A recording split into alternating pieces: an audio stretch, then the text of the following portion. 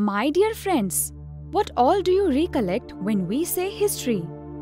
Right, Chhatrapati Shivaji Maharaj, freedom struggle of India, and worthy and inspirational teaching of great people.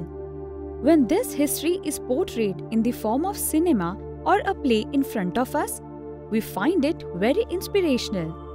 But when it comes to reality, then in today's world of modern technology, information technology, and many other technologies, and the related businesses have a lot of importance. But history and geography are also equally important. Don't you agree? But it's true. When any businessman, political leader, or a scientist wants to start something new, he always studies about the related things happened in the recent years and also in the past. In future, you will also study different degrees. You will become a businessman, artist, political leader, or even a scientist.